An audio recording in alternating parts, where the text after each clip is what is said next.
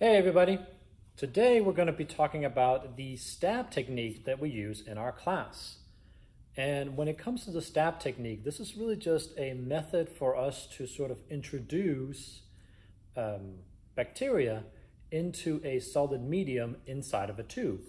So a couple examples of tubes where we might be performing this type of technique with could be something like our agar deeps, which is basically just a bigger tube than normal, which has a bunch of agar inside of it again. So this is solid.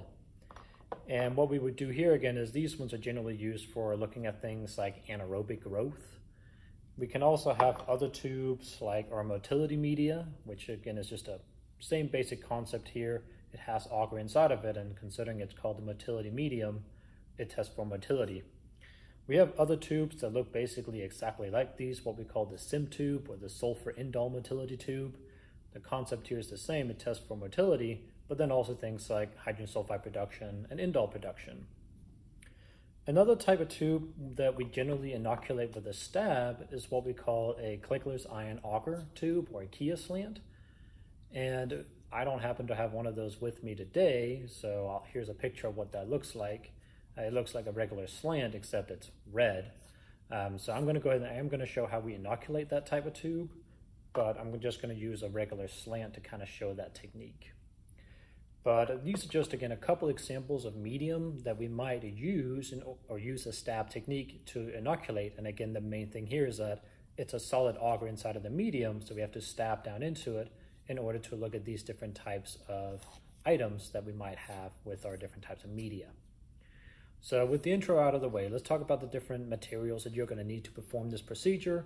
You're going to need your Bunsen burner and the striker in order to sterilize your needle. And the needle is then going to be the next thing we're going to need. And when we're looking at our normal loop, it has the loop at the top. The needle is basically just one where we took the loop off. That's all it is. You're going to need your sample. And whenever I do stabs, I tend to prefer to use a broth sample. You can use slants and plates as well, but I just tend to think that it works out better from a broth. But slants and plates, they would work as well if you that's where you have your sample from. And then you're going to need, of course, something to inoculate. So again, whether that's a motility tube, a deep, a sim, or a Kia, just kind of depends on the specific type of procedure that you're doing. But with that in mind, let's go ahead and get into the procedure and actually show how we go through and we, we do a stab. So I'm only going to go ahead and do the motility medium just to kind of show a normal stab. And then I'll go ahead and do, again, my regular slant here to show how we would inoculate a Kia slant. So let me get this going. Here we go. So I've got my broth, got my motility medium, and we're going to start out with our aseptic technique. So we're going to flame our needle. Make sure you flame the entire needle. We go. Now we're going to give it again our 10 to 15 seconds or so just to kind of cool down so that we're not creating those aerosols and we're not killing off the bacteria inside of our inside of our tube. Let's see, all right, should be good. So uncap the tube, flame the mouth of it, dip your needle inside of it and swirl it around, flame the mouth of the tube and recap it. Now when we're ready then to inoculate our medium, we're going to uncap it, flame the mouth of the tube, and now what I'm going to do is I'm just going to try as best as possible to come down straight in the middle. I'm going to just stab down inside of the medium almost all the way and then try to pull it back out. Flame the mouth of the tube and recap it. And that's basically how we complete that procedure. Of course, make sure that you flame at the end in order to clean your needle.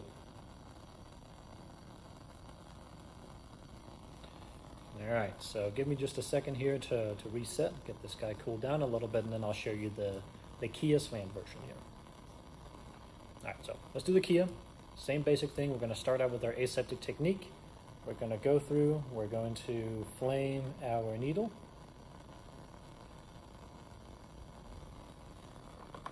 Give it our little 15 seconds or so to, to cool down here.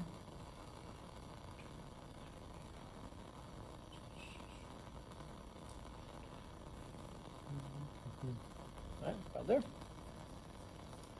Uncap the tube, the sample tube, flame the mouth of it, dip the needle inside of the broth, flame the mouth of it again and recap it.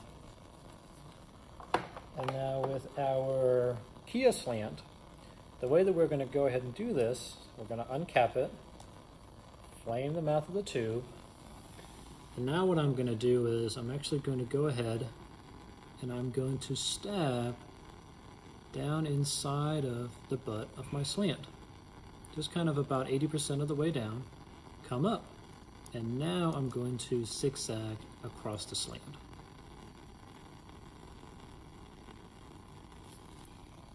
Flame the mouth of the tube, again recap it, and then flame your loop, oh sorry, flame your needle in order to clean it. Now, it might seem silly again because when we talked about how we actually inoculate a slant normally, we say you shouldn't dig into the agar. But when it comes to the Kia uh, slant, which we'll talk about later in the semester as well, one thing that actually is looked at in that test is gas production. And that's why that we actually dig down into the agar, because if gas is produced by our organism, it will literally raise the medium up inside of the tube.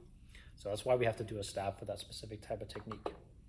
But really, that should cover everything that I need to talk about in terms of our stab technique.